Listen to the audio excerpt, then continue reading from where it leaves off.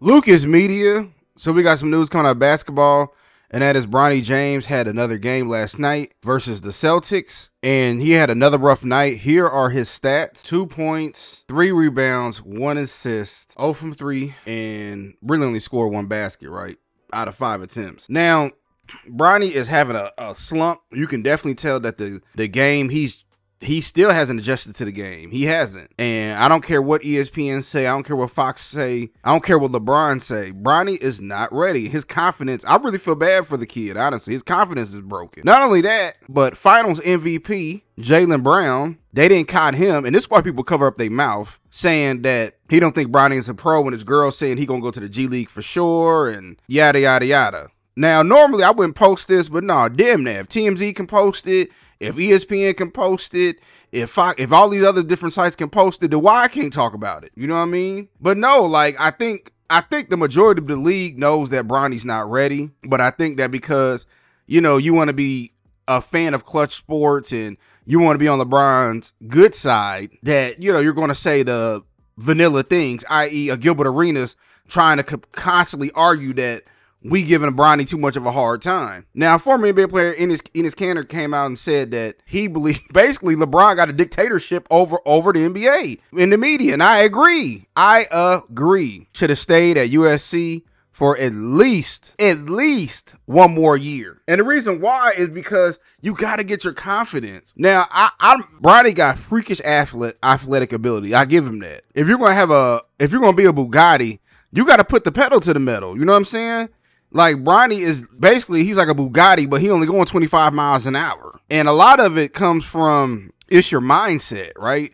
When you play sports or anything in life, 90% of it is mental. 10% of it is you actually doing it. You don't see him creating space. You don't see him out there with this vicious savages in him. He is more of a gamer to me at this moment than he is a ball player. And that's okay. You know what I mean? But I think that LeBron did a disservice by throwing his son to the wolves so fast. There was no ease into it. And ESPN's excuse, or BSPN, shout out to Two Raw on that. BSPN's excuse is, oh well, last year, uh, last year he had a help. That was over a year ago, and I'm not, I'm not I'm not knocking it. I was one of the first people on here saying that if Bronny don't play basketball, that's okay. It ain't it, it, sports shouldn't matter that much. But y'all cannot keep having that excuse. Talking about well, he only plays a handful of games at USC. Okay, well, if he played a handful of games at USC, why in the hell did he go pro? Why did Rich Paul advise him to go pro? Because it wasn't about Bronny. It was about LeBron's narcissistic ego, in my opinion. And as a father with a son that may potentially be, go to the next level, maybe you have to know how to be patient with them. My son plays for a top school down here in Georgia. I ain't gonna say which school, but if you know, you know. One of the best schools in the country. And you know, you see players like they stand out and all of that. And it's like we can either rush the process or we can take our time. And you know, as a parent, you have to realize, okay, he's not ready yet, and that's okay. But no, Bron, LeBron, like, man, I gotta play with my son. I gotta play with my son. But Bronny wasn't the best player in college. I mean, high school. And what he he wasn't even like first team All State in high school. But you jumped over people and became a McDonald's All American.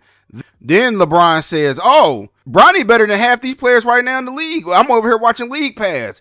Yeah, yeah, I'm shitting on my coworkers. Then he goes to USC. He had a heart scare, and everybody, eh, listen, everybody was riding with Bronny on that. But then when he finally gets cleared to play, you know, yeah, he had a, a standing ovation and all of that. But then at that point, it's game on. It's game on. And those high school players and college players, they remembered all that BS that LeBron was doing and how the media gave Bronny solid. So what they was doing, they was cooking Bronny in college. He was getting cooked. I'm sorry. Go back and watch the full games. He was out there getting cooked half the time. And he played the, the same way. Even myself, I'm like, okay, okay, Bronny, he's gonna change and he gonna turn it on. And what I'm realizing is, because I, I didn't listen, I didn't been around some of the best athletes in the country since they was babies. Either you got it or you don't. Rarely the switch turns on which is why people like, man, how come LeBron don't have this Kobe mentality? That's just not him. Bronny don't have this Kobe mentality, at least not yet. You know what I mean? And it's rare that it, that it, that it switches. So it's kind of like we're we're hoping one thing, but the tape don't lie.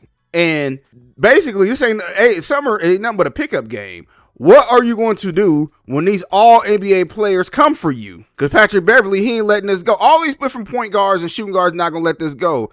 And Bronny should have been a point guard. Why wasn't Bronny trained as a youngster to be a point guard, especially when you knew he wasn't growing no more. He this tweener, but he don't like to bring the ball up the court. You want to play off the ball. Who are you going to guard? You know, but then that's when he was going against Reed Sheppard and he was out there getting cooked and they switched him. And like, what are you going to do when you put him out there? Now, does he try? He puts effort out there, yeah. But he got a long, he got a long way to go.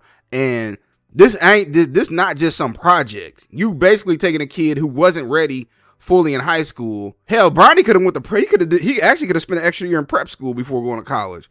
But he wasn't ready in high school. He wasn't ready in the league. What in the hell think y'all most people think he gonna be ready for the pros? That just doesn't make any sense.